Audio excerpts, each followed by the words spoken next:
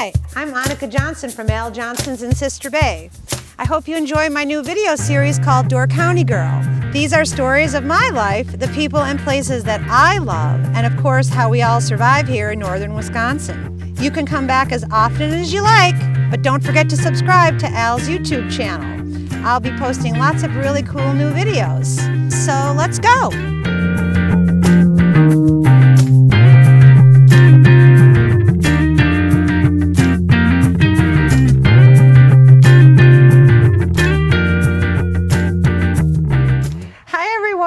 Welcome to another episode of Door County Girl.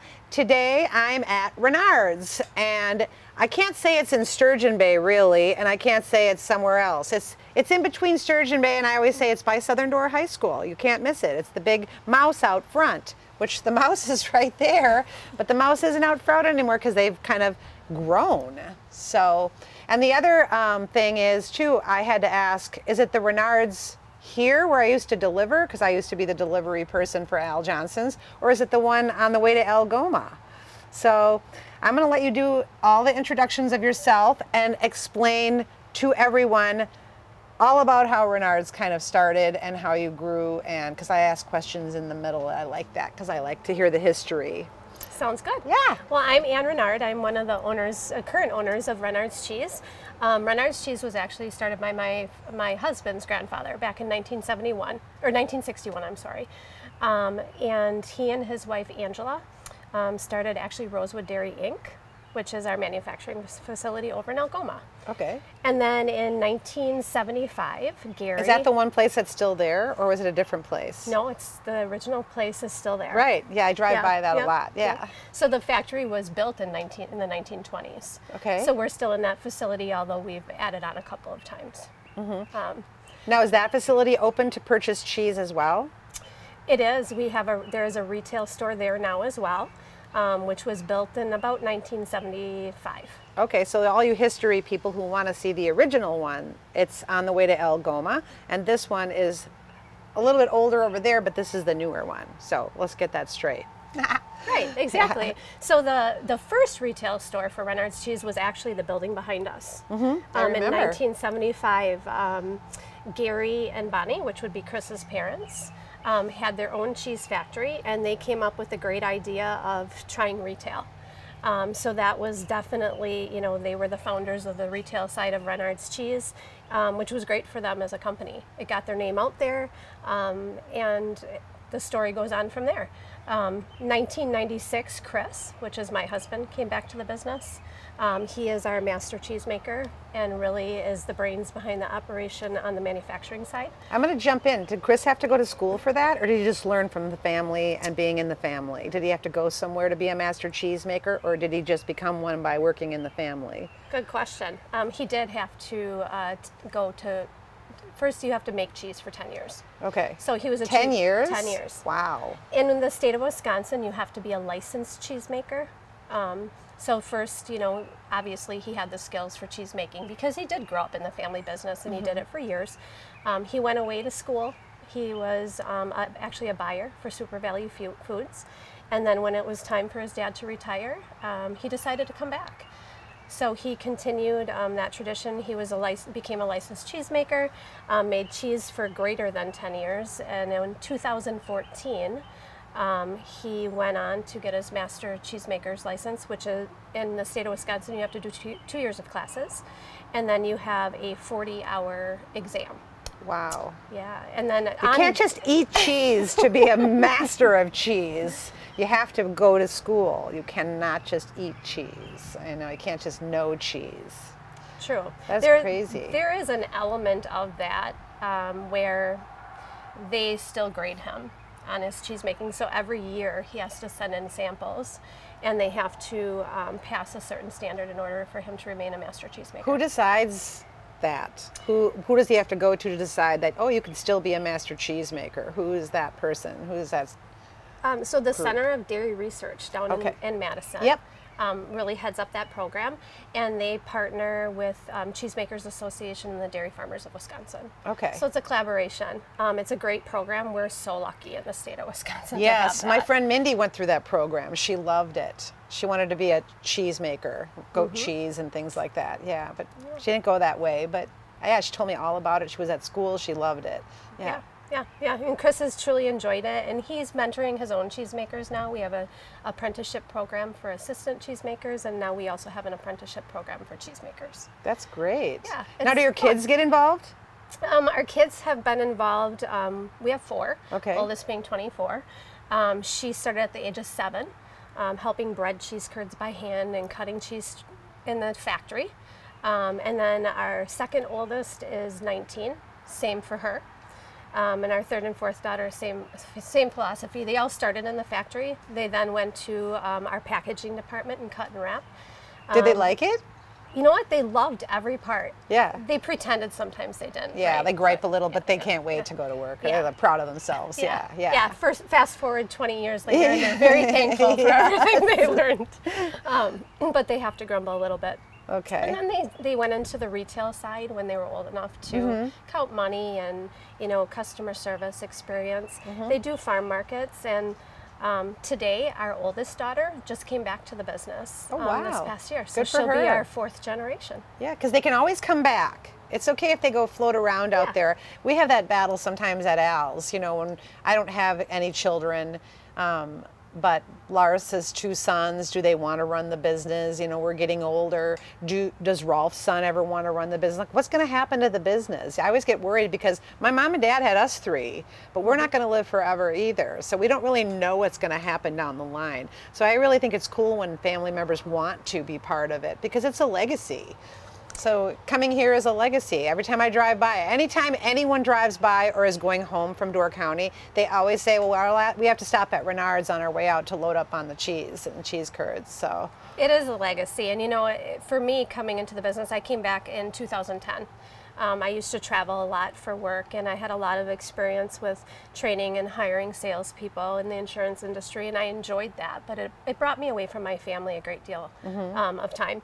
So when I came back, that was the element that I could offer to the business and truly make it a, a family business. And that is something I always remember: is those customers coming through the door with pictures with Melvin of their kids. That's his name, Melvin. Melvin. Melvin. yes, from age one through 18. And they just wanted to show us, and they're on um, their way up, you know, to Northern Door. And that's awesome. I yeah, love that. it's a family tradition, and you're right. yeah, Um, it's like a doctor birthing babies. You know, you watch them like get the pictures of Yeah. "I'm- birthed this baby and I have this mouse, Melvin. Yeah. Picture. I love that. Yeah, so we're ecstatic to have the fourth generation back, you know, and um, they all need to go out and do their own. She was a nurse Mm-hmm. um, and enjoyed what she did, Mm-hmm. um, but saw an opportunity here and, and we welcomed it. Um, but it needed to be her decision. Right. So we'll see what daughter two, three, and four do. In the Oh, yeah. meantime, they're working. That's awesome. All right, I didn't mean to jump in. So then your husband came in and your daughters work here, so we'll go there from there. Yeah, so um, in 2010, um, I came back to the family business um, to be closer to home. And we decided that um, we wanted to make sure our business was sustainable and it was going to continue on. There was such a great, you know, great foundation of where the Renards started and, and their creations and, and what they were known for. Um, so we decided in 2012 to build this build this new retail location. Um, selling cheese is much easier than selling insurance. Um, It's a no-brainer.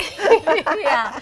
So You don't um, have to convince me to buy cheese. No way. Yeah. Yeah. So between Chris and his passion, obviously, to continue the family business, and my sales experience and um, management history, um, we grew from there. And so by 2012, we had outgrown our retail um, location next store, and which was also a cut and wrap, and we built this new location. Um, in 2014, um, some other family members, it was time for them to retire. Um, so we purchased the second retail location on County S um, in Algoma. Oh yeah, yeah. Yeah, yeah. And then the other half of the factory. Okay. And um, we added on to this location as well in 2014. Yep, yep. Yep, yep, because we, had, uh, we grew, outgrew that. And we're in the process now of another um, pretty significant expansion. Uh, we are putting in an exact weight cut and wrap um, doing a little bit more with um, handling of our water from our. Well, our where would the cut and wrap be? We have one current cut and wrap in our old retail location. Okay. And we run two shifts. So Okay. we can't do any more there. So our second cut and wrap is going to be at our County S location Okay. in part of our warehouse. Okay. So we're starting that here in the next month. Mm-hmm. And then um, by the end of next year, we'll be um, building a new manufacturing facility um, because the one we're in is from 1920. Is it just getting old and just not modern? You need more modern things. And Yeah, yeah. yeah. I know how that goes. It- Yeah. It's old. It's it's tough. We're on, close to the um, center of the road, so for snow removal, for employee yeah. parking. Keep it for a museum, a cheese museum. Who knows? Lots of ideas floating around. We I'm sure there is. Yeah. Haven't decided quite yet. Yeah. I just uh, I was at the distillery and um, Door County uh, Winery, and they gave me a tour as well. So, where you manufacture all your cheeses at the two other places, you don't do any here. Correct. So we manufacture only at our County S um, Rosewood Dairy is what Okay. we call our manufacturing facility. So in about mm, 2,000 square feet, okay, we have four vats, 10,000 pound vats, which make about a thousand pounds of cheese per vat. Um, we manufacture just shy of three million pounds a year, Oh my gosh. and um, because the cheese is so good and our, our cheesemakers do such an excellent job. Um, last year we turned down about six million pounds worth of manufacturing, and this year so far we've turned down about four. Wow. So that is definitely upgrades in, in what our f- workforce expects today, Yeah. um, assisting our cheesemakers in very manual physical work in Yes. cheese making. Oh my gosh. So they're lifting 100 pound buckets, one arm at a time, to fill our cheese wheels. Um, and that's very physical. And when you're doing that all day, bent over vats, that's not today's workforce. Mm-hmm. Right. Um, number one. Number two, we have these guys with great experience and gals with great experience, and their bodies just can't handle it anymore. right. Um, so we, our new facility will be able to assist them, so it's not so physically intense. We're still going to do open vats um, because that is who we are. We're artisan. We're small batch. We will stay small batch. We're just going to make a lot more small batch. So, an artisan cheese maker has to always stay small, right?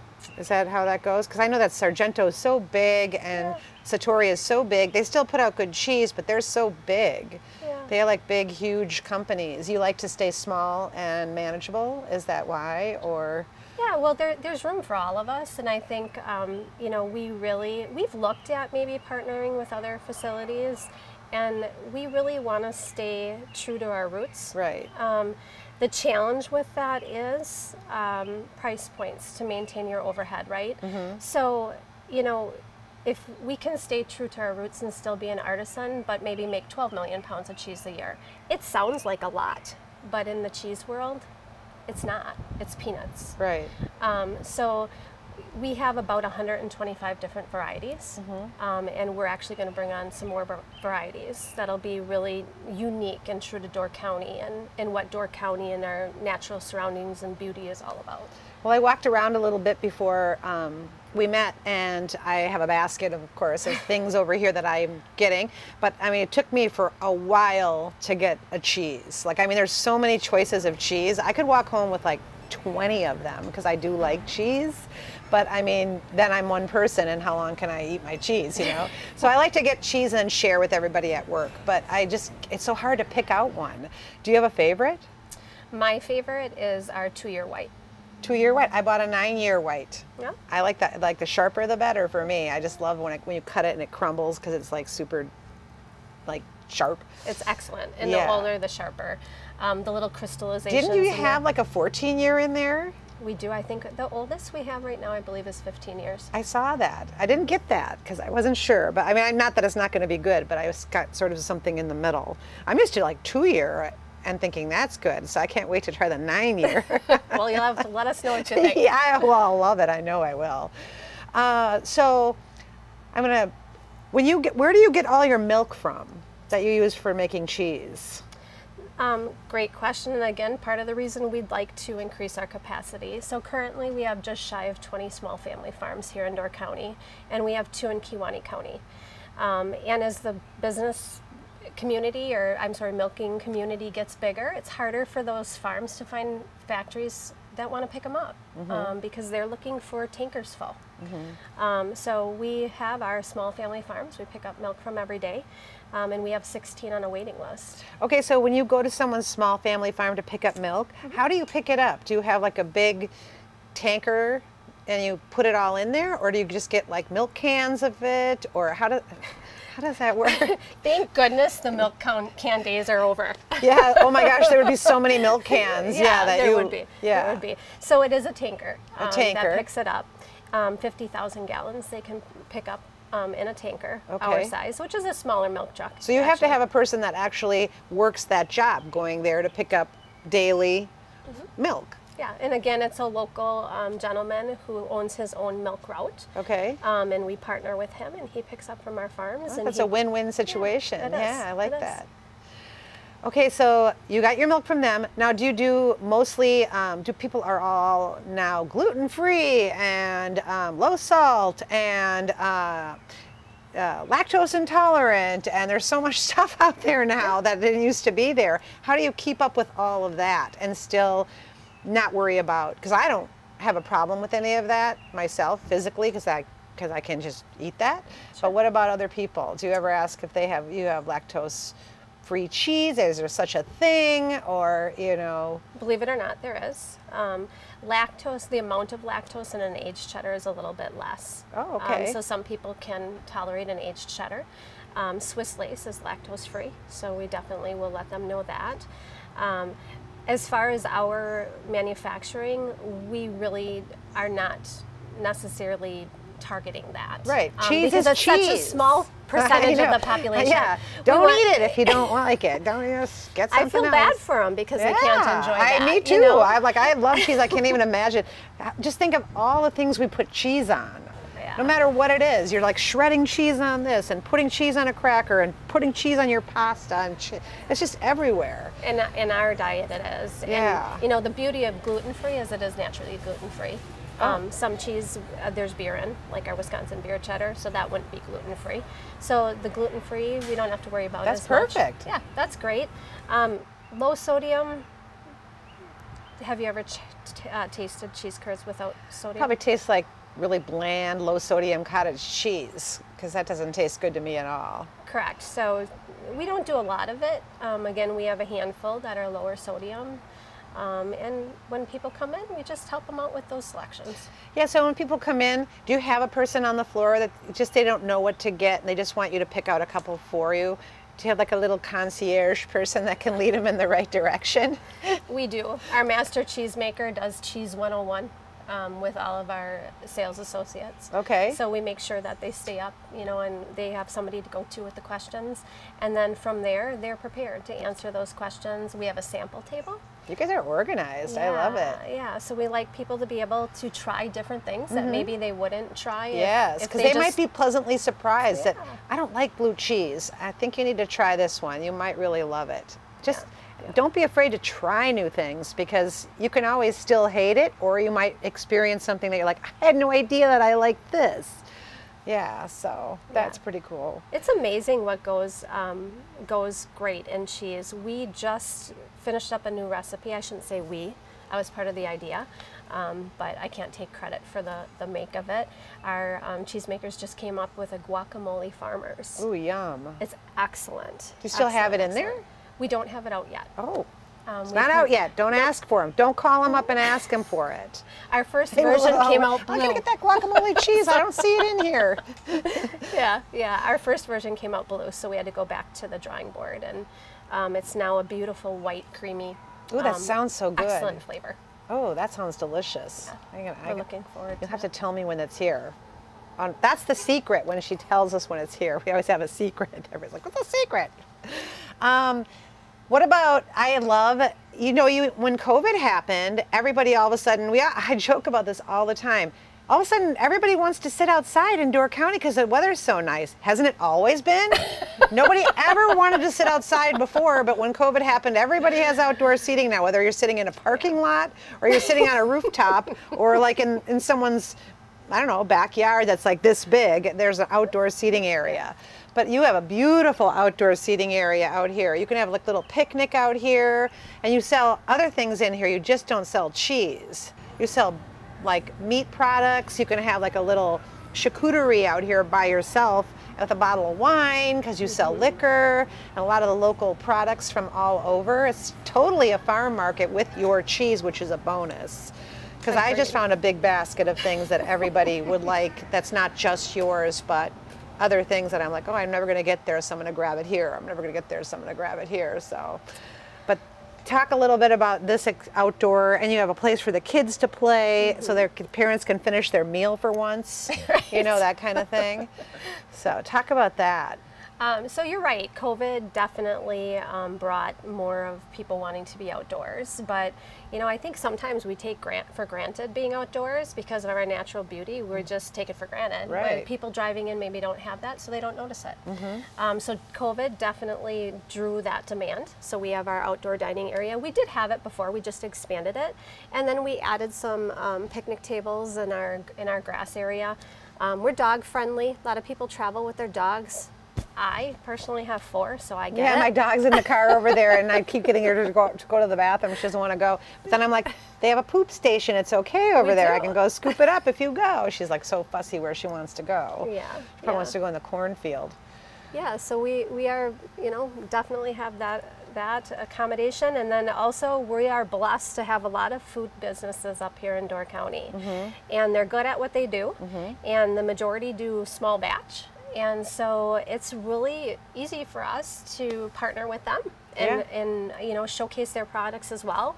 We're kind of that last stop or first stop, depending on which way you're heading in Door County. Mm-hmm. So if maybe somebody didn't get to um, one of the wineries while they were here, well, they get to stop here and Yes, and exactly. pick it up on their way out. Yeah, you can get almost anything you want here. If you're if you just had too much fun on your vacation, you were always sailing or at the beach, and now you're oh my god, I didn't grandma anything or aunt and uncle or like the dog sitter.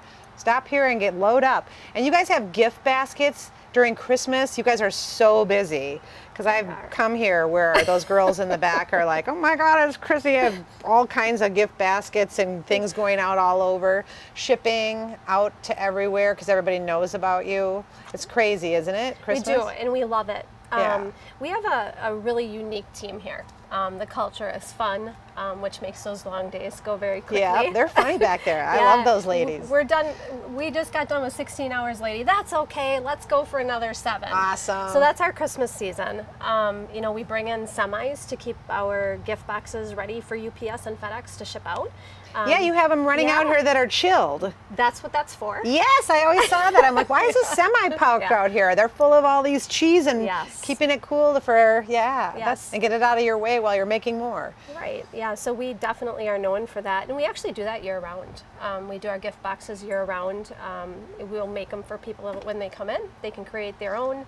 Um, we ship them for companies year round, and of course, Christmas is the biggest time. So at Christmas time, we usually are doing anywhere between 15 and 20,000 gift boxes in about a six-week period, which Who is doesn't want a gift basket full of cheese products? I mean, that's a no-brainer, especially during Christmas, because then you have to have people over, and then you have this nice selection of cheese to give to your friends. And they're like, "Oh, Door County, we go there all the time. We go to Renard's. You have Renard's cheese."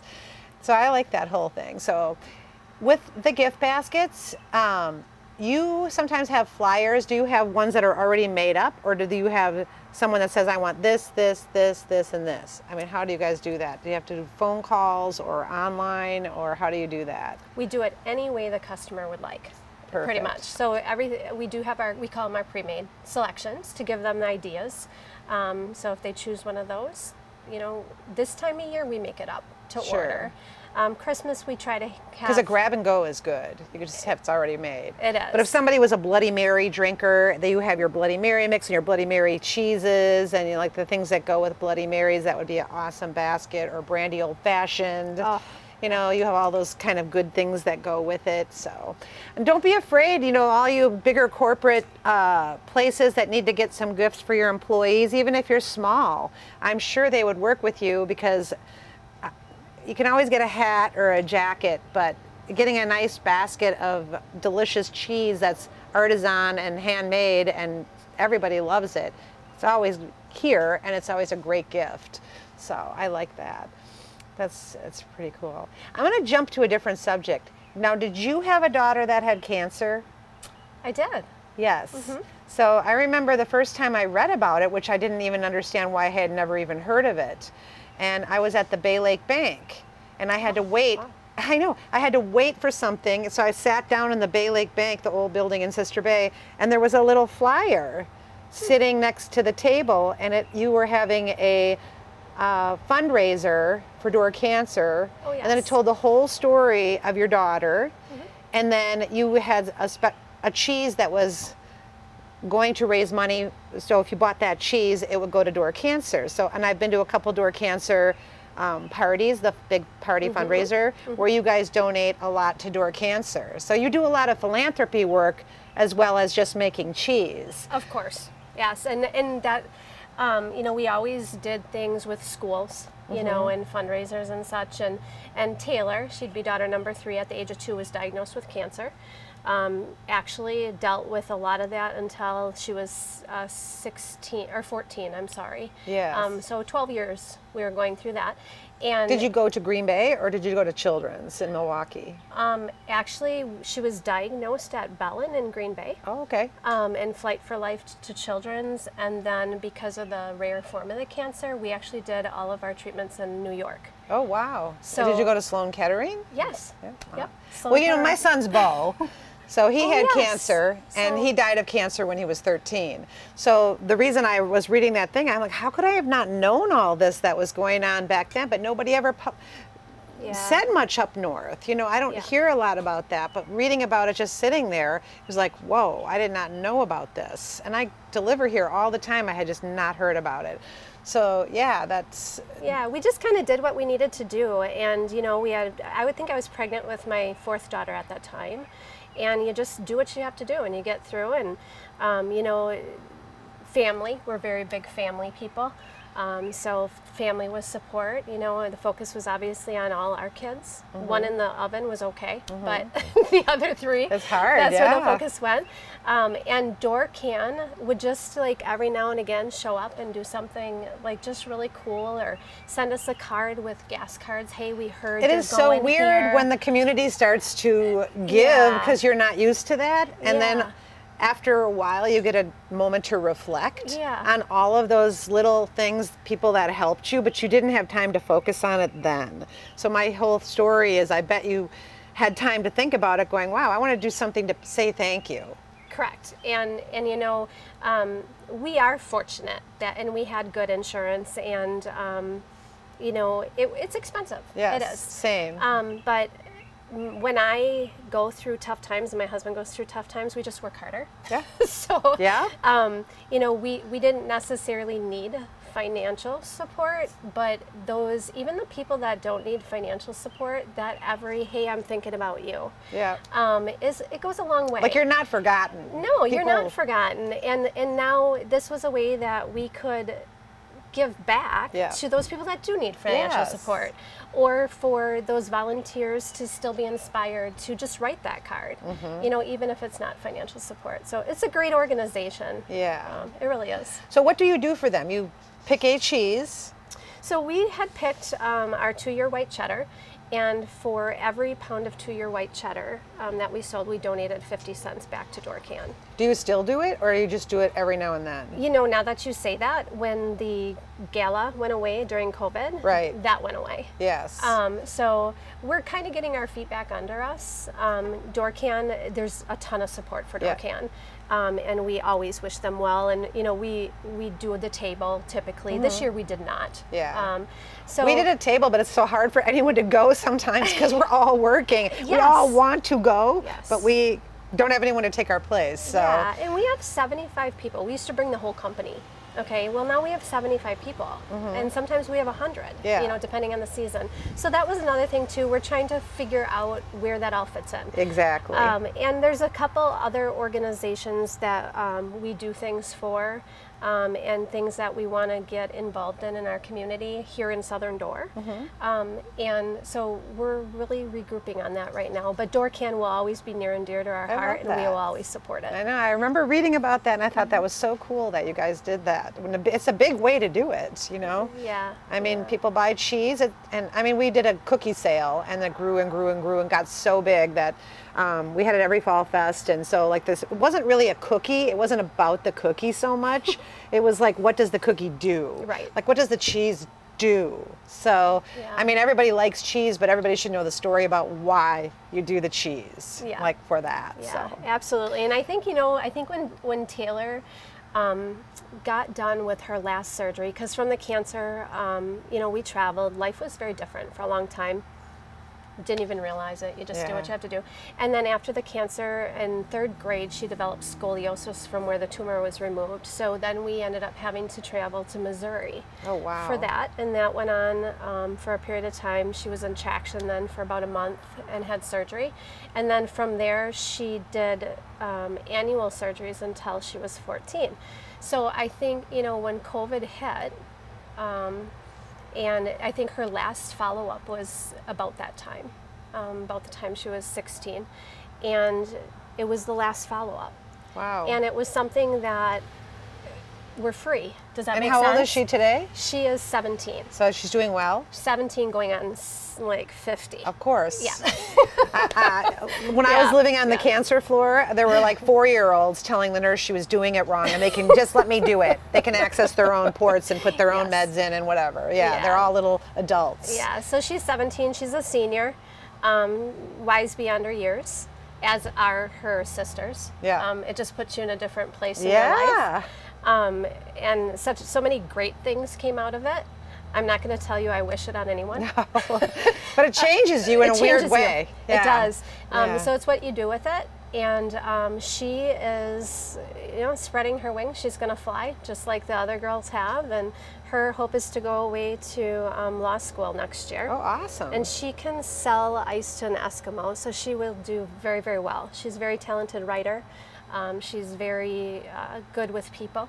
That's great. And she has her sisters who surround her and love her and help her with her sense of humor um, to support her. So she'll do great Oh, things. I love that. Go Taylor.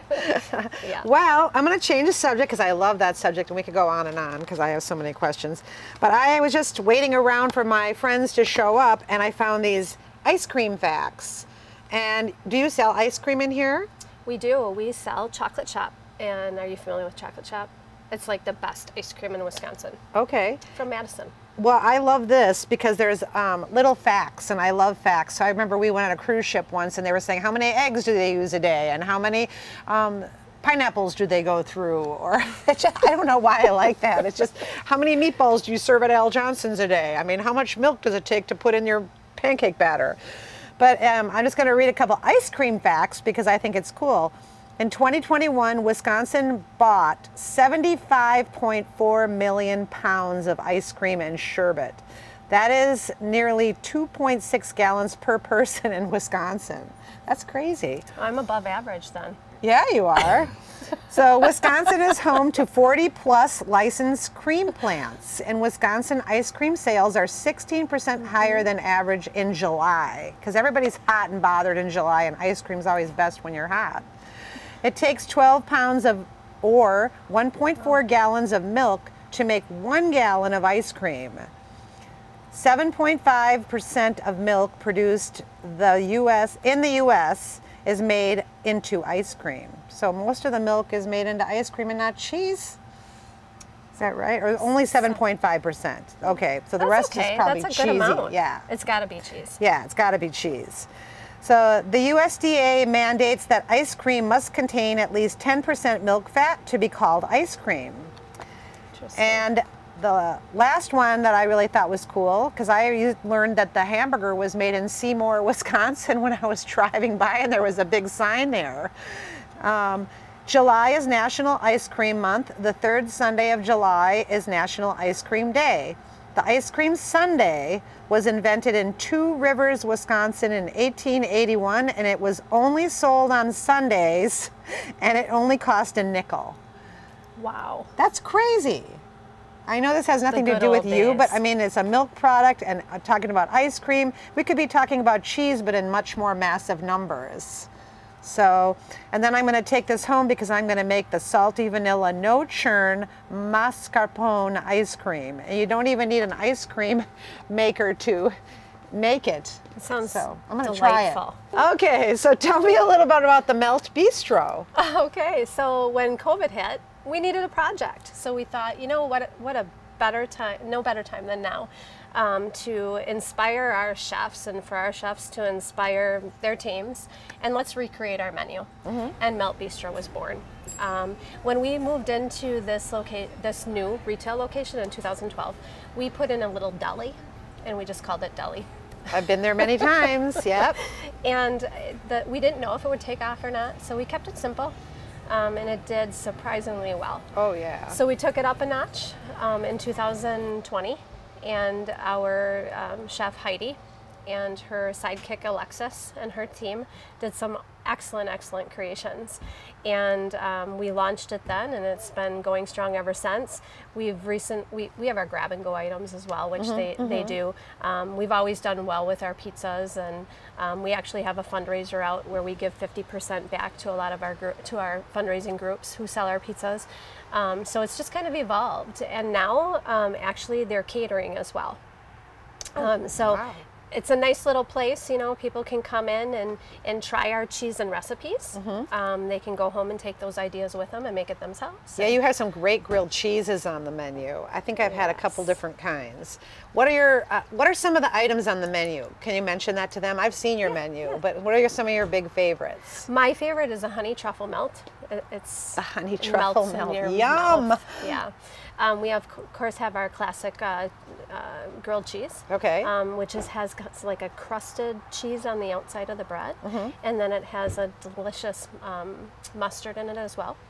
Um, we have our Cuban, our Italian. Um, we have mom's mac and cheese. We have our loaded mac and cheese, um, cheese curd salad, panzanella salad, for those that like something a little healthier. Oh wow, what is that? What Yeah. is a cheese curd salad? Everybody loves cheese curds. Yeah, so it's um, fresh greens and um, roasted tomatoes and couple of other vegetable fixings Wow, with it sounds um, delicious with the cheese curds. yeah cheese curds and homemade croutons. Oh yum. I know, and it's finished off with a vinaigrette. So It's if you want to be healthy, you have to have that, but it still has cheese curds. So yeah, I like that. So what is uh, what is the most popular item on your menu? Like what is the most thing that people order on that menu? um, that I would say is our Italian and our Cuban. Because there's a little bit of meat and a little bit of cheese. Yeah, a little bit of everything. Definitely. Yeah. And our mac and cheese, our mom's mac does exceptionally well. So between those three, Okay, yeah, mac and cheese. You can't beat mac and cheese. you can't comfort food. I know. What better? Well, you know, every time I came here for a delivery, I would always get myself a sandwich while I, I would go in and order it, and then I would go unload the truck, and then um, I'd always bring the girls a tin of cookies in there for their fika time because they have to have a little coffee and cookies later, and chat with them a little, and then I would wait for my sandwich and I would just eat it on the way to my next place. And I think I had back then though, it was been a, been a bit. Um, it was like a panini with uh, pesto, and it had some really delicious. Uh, Yes. It was really good. But Yeah. I'll have to try some new things on your menu. You should try the Melvin's masterpiece. Um, is excellent as well. It's a cold sandwich, Okay. but it's excellent. Okay. Well, you know, and you can also come here. Um, can you call ahead and get things to go? You certainly can. You So, can like, if they wanted to grab it and go and eat in the car, like instead of fast food, they can come here and get some delicious sandwiches to take with them, and or eat out here and by the picnic area. Like You can. You can call ahead, or if you come in, we have grab and go items ready to go. So if you don't have time to call ahead, or you think about it as you walk in the door, you can grab it out of our grab and go cooler. Oh, excellent. Well, I do know one thing about cheese curds because I know you sell a lot of cheese curds. I, while I was walking around the store picking things out that I was going to buy, I saw them come many times to load up the cheese barrel with all the fresh cheese curds. Yes. But I, I always brought some home because our gift shop manager at the time, she always said, if you're going to Bernard's, you better not come back, or going, if you're going to Renard's, you better not come back without a bag of cheese curds. So I'd always get like a big bag of cheese curds for her. And the first time I brought them back, I mm-hmm. laid them on her desk and she left them out on the desk. Hmm. So I thought she was doing, I was doing her a favor by putting them in the fridge. And she came back the next day, who put my cheese curds in the fridge? And I'm like, well, I did because you left them out and they needed to be refrigerated. No, no, no, nobody refrigerates cheese curds. That's, you eat them room temperature. Is that true? Well, you know, ask if you ask my grandfather, Chris's grandfather Howard, he'll leave cheese curds out for a week, Okay. and he'll leave his Munster out for a week on the counter. His body's accustomed to that. Oh, yeah. We make fresh cheese curds every day, and whatever we don't sell, we have to throw out because they can't be out of refrigeration by state laws and standards today, um, greater than 24 hours. So you did her a favor, By putting it in the fridge. But- Did you hear that, Sarah? but her body might be accustomed to it. Probably, because I always brought her a bag and she would leave them out on the counter. Yeah, that was funny. Oh my God. Okay, well, I love all cheese and I like trying new cheeses. I always try to go to a grocery store and pick out something I've never tried before. But if none of you people have never been to Renard's, which is kind of unthinkable if you've been to Door County, because everyone I know stops here that I meet in the restaurant where I work at Al Johnson's, and they always come to Renard's. So don't forget to come in and visit Ann and uh, pick out some massive amounts of cheese and bring it home as gifts or eat it yourself. And yeah, so we're talking about cheese, and cheese is excellent. It's one of my favorite subjects. Well, everybody, don't forget to like and subscribe at the bottom of the page, and you'll meet more really great people like Ann and the local businesses all around Door County and beyond. So, thanks for joining us Thank for another you. episode, and we'll see you next time. Bye, guys. Thanks, you. Thank you. So awesome. excellent it. Thanks for watching Door County Girl. Don't forget to subscribe, and we will see you next time.